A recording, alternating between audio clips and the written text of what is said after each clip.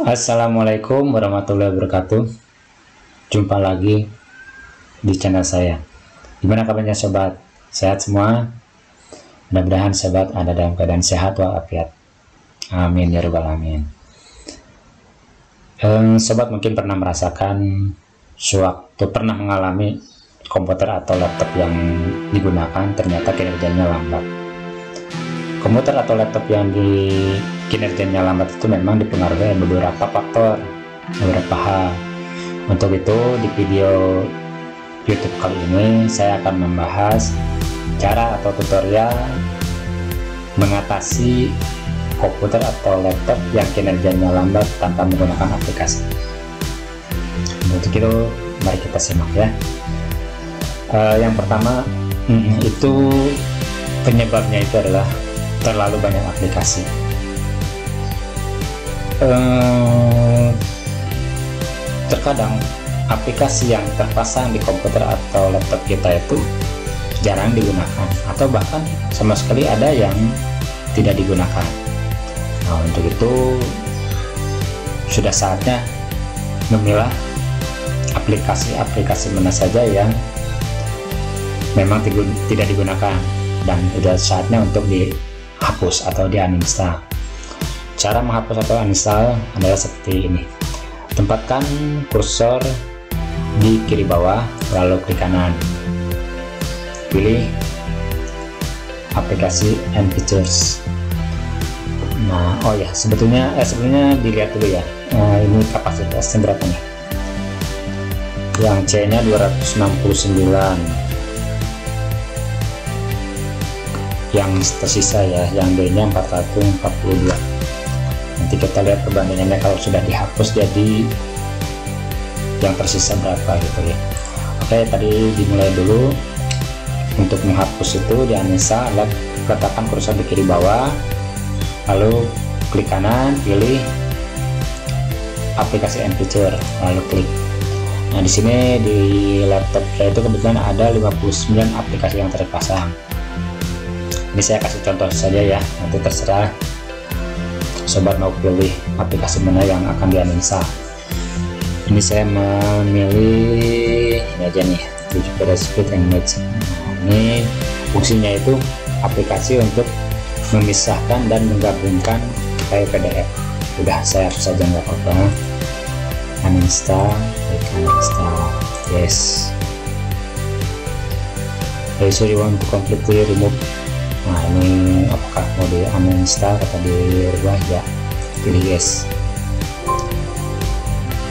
oke terus yang kedua mana lagi ini yang kedua contohnya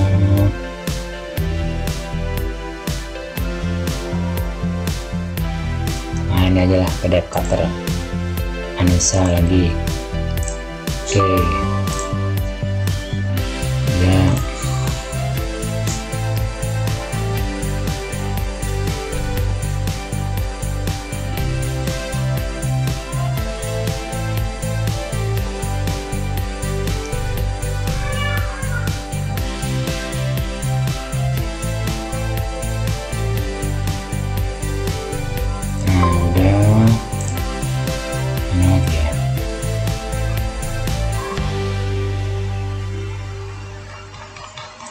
Di bawah aja lah share ini lah sketch apa aja nih?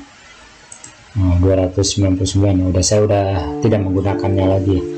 Dulu pernah berniat untuk belajar tapi sekarang tidak. Udah hapus saja lumayan. 299 MB uninstall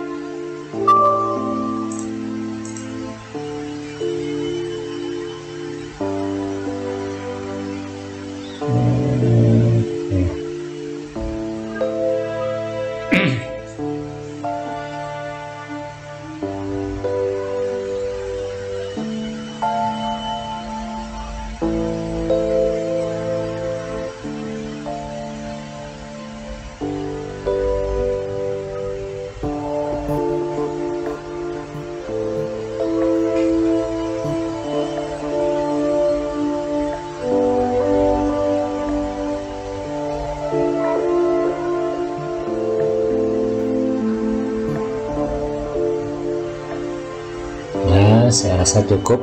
Tiga saja dulu ya contohnya aja. Ini tadi salah satu cara untuk mengatasi komputer atau laptop yang kinerjanya lambat adalah menguninstall aplikasi yang tidak digunakan. Itu yang pertama. Yang kedua eh, jangan terlalu banyak membuka browser. Ini browser ya. Browsernya saya kebetulan menggunakan Mozilla tapi misalkan ada sih kan ada yang pakai Opera ada yang Microsoft Edge ada yang Google Chrome ada saya kebetulan menggunakan Mozilla Firefox. Misalkan kita membuka YouTube. YouTube ya.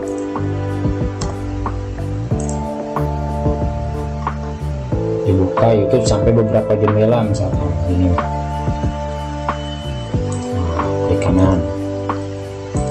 Dua tiga empat lima enam tujuh delapan sembilan. Pokoknya kalau ini terlalu banyak membuka ini RAM itu jadi berat gitu.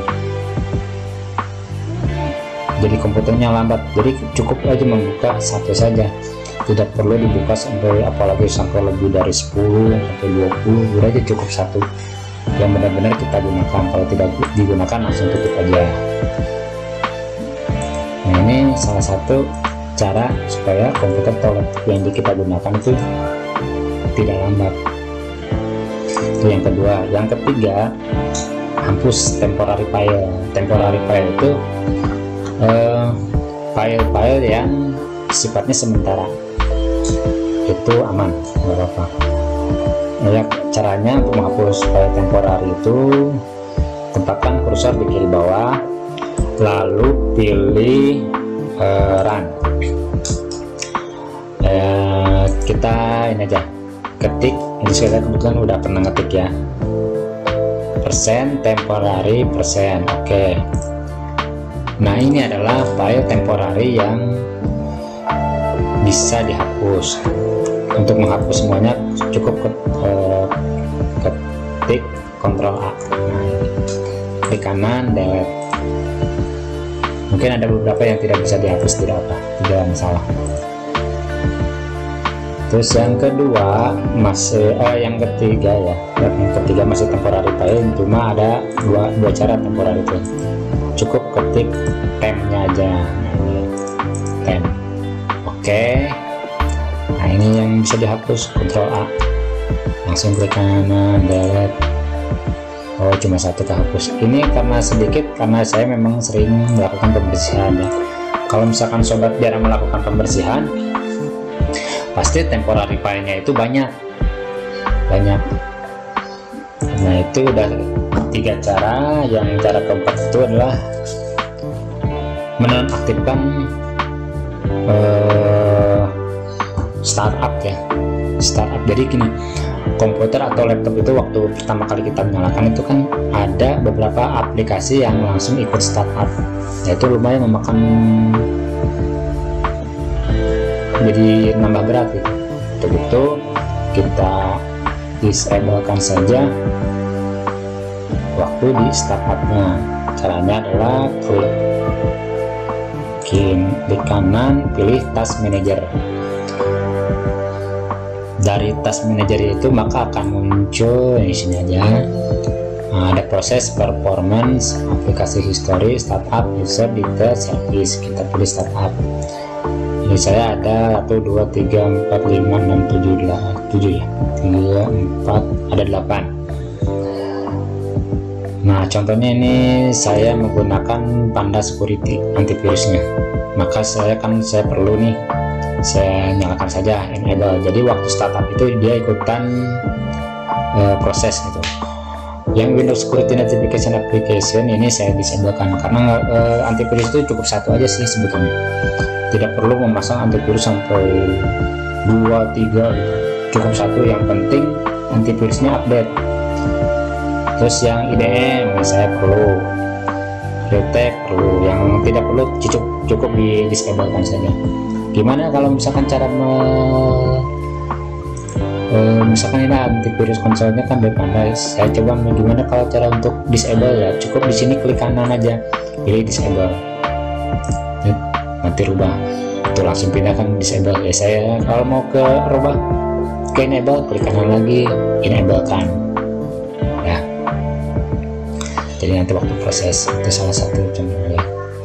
Terus yang kelima ini lakukan disk clean up. Nah disk clean up itu buka window explorer. Nah, nah ini yang 270 ya 270 242 tadi malah 269 ya? 269 tadi udah ada yang dianisa jadi 270 tuh. Lumayan udah mulai mengurangi berkurang 1 giga sekarang kita bersihkan disk clean up. Nah, maka berkurang lagi nih klik kanan di C nya itu pilih properties. Nah di sini kan ada general terus hardware sharing kuota previous version security kita di menu general pilih disk clean up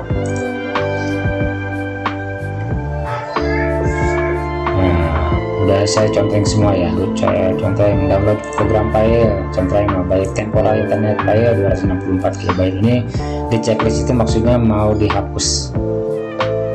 Nah total yang mau dihapus itu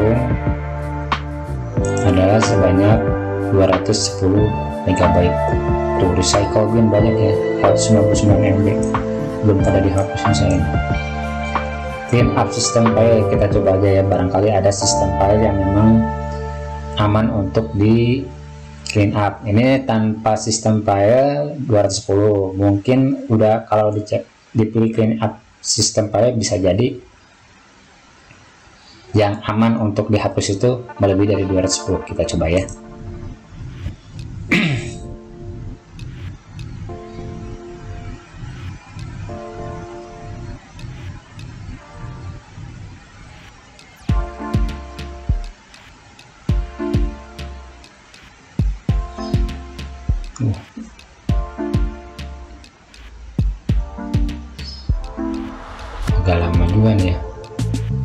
Windows Update Clean Up.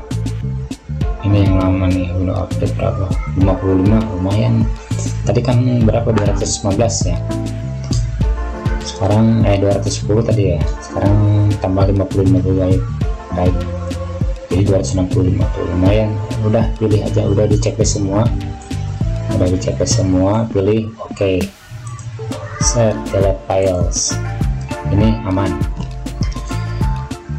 nah ini lihat yang sedang dihapus di Store download program file temporary internet file language reset file recycle bin oh itu lagi pada dihapus. Kita lihat nih berapa nih sis?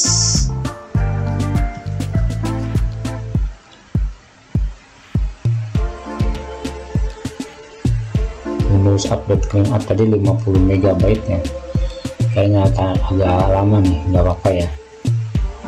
Tidak perlu di cancel kita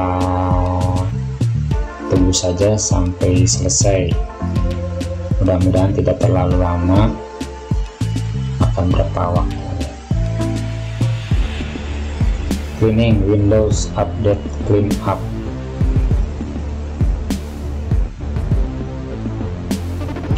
Oh yes uh, selain cara pembersihan ini kita sambil nunggu ini ya sambil menunggu proses mengclean up. Selain cara manual menggunakan disk clean up itu bisa secara reguler dan secara otomatis gitu. Uh, itu namanya di maintenance tapi saya lebih senang secara manual. Ya kalau jadi ada baiknya sih kalau memang komputer sering digunakan ya empat bulan sekali lah jadi satu tahun tiga kali. Kecuali kalau jarang digunakan bolehlah enam bulan sekali nggak apa-apa. Ini nah sudah. Oke. Uh, itulah lima cara yang biasa saya gunakan di dalam mengatasi komputer atau laptop yang kinerjanya lambat. Tentunya komputer atau laptop tersebut harus di restart ya supaya terasa ada perubahannya. Oke, cukup sekian. Bila mana ada kritik ataupun saran silahkan tulis di kolom komentar. Jangan lupa subscribe dan nyalakan loncengnya. Semoga bermanfaat. Sekian dari saya. Bila taufiq wal hidayah. Wassalamualaikum warahmatullahi wabarakatuh.